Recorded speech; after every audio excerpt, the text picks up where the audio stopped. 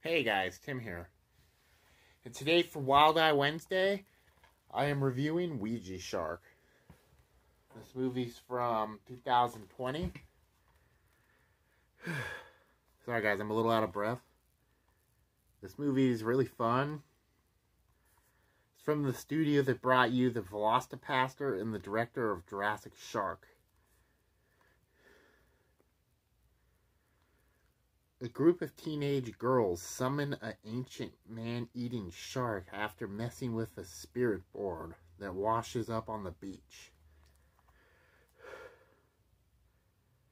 A, a cult specialist must enter the shark's realm to, to rid of this world of the deadly spirit ghost once and for all. Yeah, this movie's really fun it's kind of silly. It's not. I think it's made for it's made for a laugh. I really enjoyed it. I did a live stream where I watched this one, and it was just super fun. Really enjoyed it. I loved it. If you guys like killer shark movies, especially like cheesy shark movies, this movie has CGI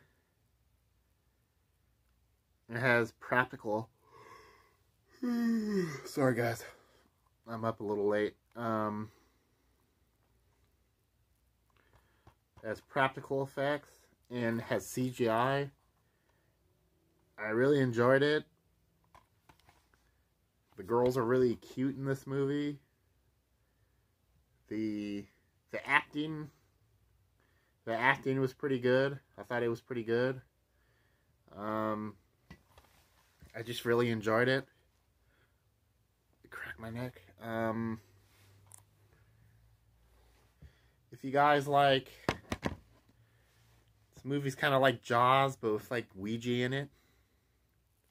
I really enjoyed it. Lots of fun. Really cheesy. And I recommend it. It's this is probably one of my favorite Wild Eye ones now because it's so fun. It's like it's really outrageous and kind of ridiculous, but it, it's just fun.